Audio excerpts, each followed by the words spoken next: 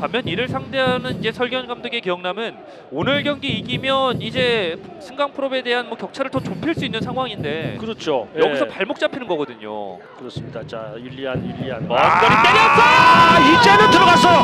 이거는 들어갔습니다. 이거는 아무 문제가 없는 거죠. 버립니다. 와, 야, 세 번째 만에 결국은 성공을 시킵니다. 와우, 윌리안은 윌리안이에요. 와, 팬들 앞에서 상의를 벗고 보여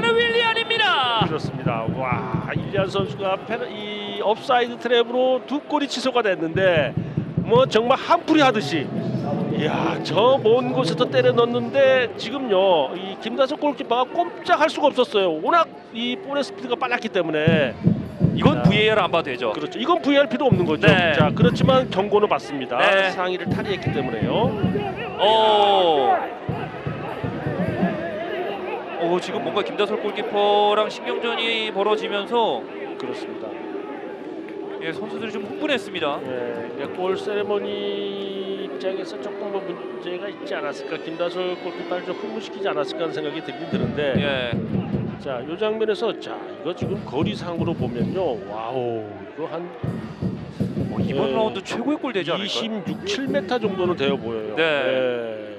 예, 정확하게 발등에 얹혔어요. 예, 지금 이제 진행 방향을 보고 어, 김다솔 골키퍼 뜨긴 떴습니다만 제가 봤을 때는 저 볼의 속도는 시속 한 140km 정도는 되어 보입니다. 예. 네, 저 정도까지 속도가 나게 되면 골키퍼가 알았다 하더라도 막기 어렵죠. 그렇죠. 네.